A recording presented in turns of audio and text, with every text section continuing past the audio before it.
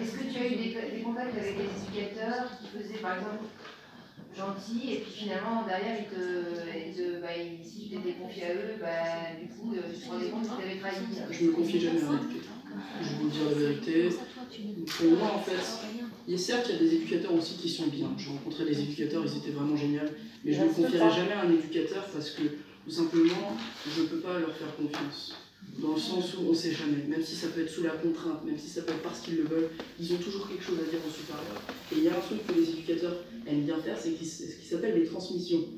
Et là, dans le foyer où j'étais, c'était pas juste oui, euh, nanana, tout s'est bien passé, c'est non. Stacy dans sa chambre, Stacy fait ceci, Stacy fait cela, Stacy a fait ça, Stacy a fait ci, Stacy a fait ça. En gros, ils aimaient bien, en gros, euh, me raconter un peu tout ce qu'ils faisaient. Et moi, personnellement, la seule personne à qui, à qui je me suis confiée, c'est ma, psy, ma, psy, ma psychiatre, qui est d'ailleurs là pour, euh, pour ma phobie, qui m'aide à, à essayer de vaincre ça. Et elle, je lui fais confiance parce que voilà, je sais que c'est une psychologue et voilà, il y a le secret médical, donc elle ne pourra rien dire à personne. Une dernière question. euh, je sais que tu as ta soeur jumelle et on a beaucoup de dossiers en France de jumelles comme vous qui ont été séparées. Euh, comment tu peux estimer euh, ce préjudice d'avoir été séparé de ta soeur Bah, C'est-à-dire qu'avant, on était, on était liés, quoi. On était, on était tout le temps ensemble, on était tout le temps. on était dans la même, dans la même école, on était en train de faire les mêmes choses. Et là, maintenant, bah, on s'embrouille plus qu'on qu'on se rapproche. Là, je suis dans un lycée qui. J'étais dans un lycée qui était complètement à l'opposé du sien. C'est-à-dire que bah, maintenant, bah, on, va, on va plus avoir tendance à traîner toute seule qu'à traîner ensemble. C'est c'est dommage. c'est ça, ils aiment bien faire ça avec les frères.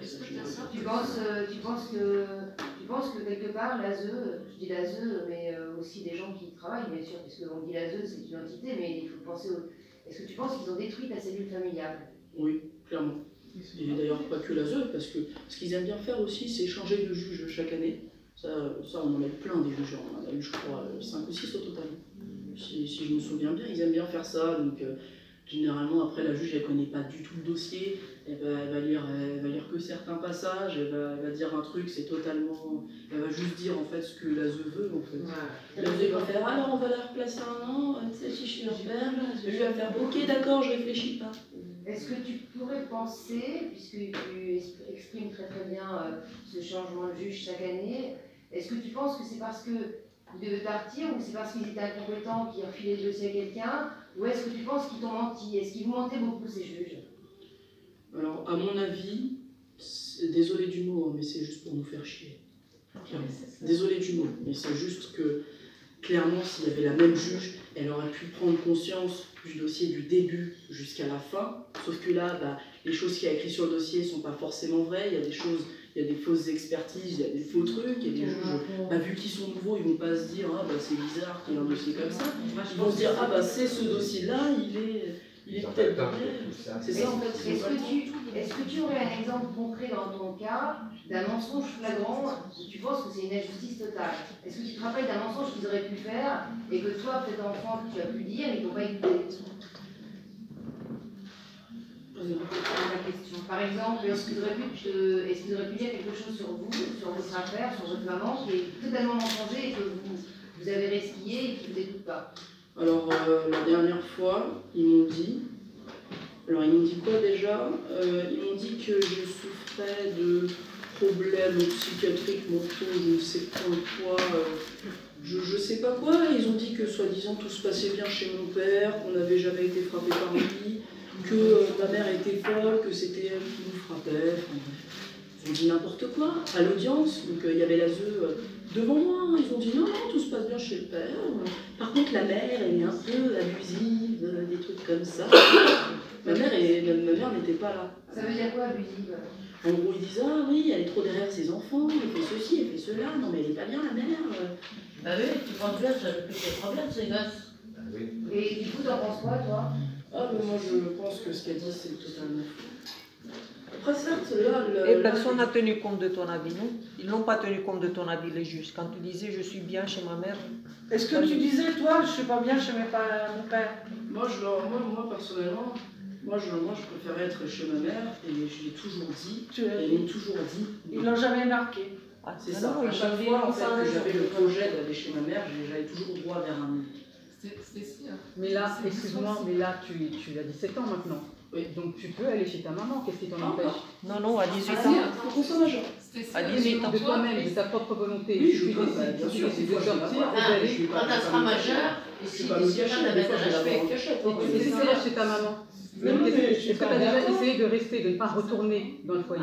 Oui, l'année dernière. Qu'est-ce qu'est-ce qui s'est Pas passé majeur, qu'est-ce qu'ils vont faire de toi? Ils vont vraiment te libérer Ils peuvent rien faire. Je parie, je Ah, retourne chez ta maman. J'ai signé avec une commission, écoutez bien.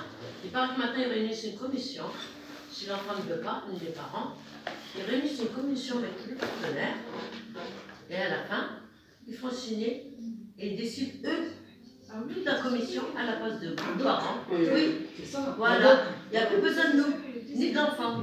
C'est une commission de tout ce qui s'occupe de l'enfant et décider ensemble avec les médecins qu'elle va faire un, un, contrat de. Ah non, c'est pas comme ça. Moi, j'ai déjà subi ça. Non, je te dis que c'est comme ça qu'on m'a dit. Cécile, j'ai une question selon toi. Moi, ma fille avait 14 ans. Non, mais c'est pour vous dire, ma fille avait 14 ans. Quand elle s'est fuguée, elle a dit à l'âge, moi, je ne veux, pas veux pas rester avec vous. Et ma fille avait 14 ans, elle avait passé entre 3 et 4 mois, elle a décidé de rentrer à la maison.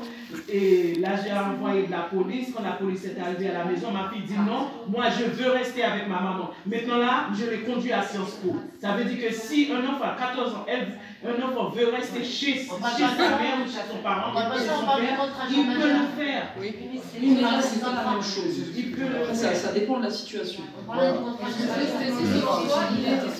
On a proposé à ma fille, ma fille avait refusé, elle a dit maman est là, maman travaille et que ça se passe bien jusqu'à ce que j'ai conduit ma fille à Sciences Po. Ça veut dire, si maman dit, si l'enfant veut rester chez, chez, chez sa, chez sa mère, il pourrait. Non, Mais non, Mais voilà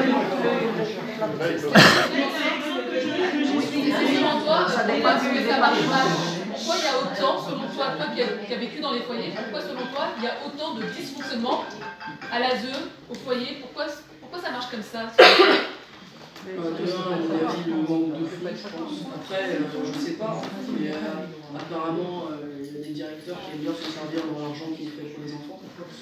Et, euh, et de deux, en fait, ben, le- un peu le manque d'éducateurs. J'ai été dans certains foyers il y avait un éducateur pour euh, genre 12-14 enfants. Il y avait deux éducateurs pour 60 enfants, des choses comme ça. C'est le manque de personnel, c'est le manque de, le manque de budget, parce que les éducateurs, enfin, parce que les directeurs, pardon, ils aiment bien prendre, euh, voilà, Non, moi, parce que quand tu as des choses ça dépend pour qui, mais nous on parle, nous, on parle Pour les pour les enfants. Et quand un juge refuse de t'écouter, quand tu dis que tu veux aller vers ta maman, euh, est-ce que ça c'est une question de manque de moyens Ça, à mon avis, ça c'est juste une question de pour leur plaisir. D'accord. Il y a de la volonté à vouloir euh, casser le lien enfant-maman. Enfant, euh, maman. C'est ça. Tu sens vraiment Est-ce que dans les foyers, tu sens Ouais, bravo, bravo. Laissons-le le et un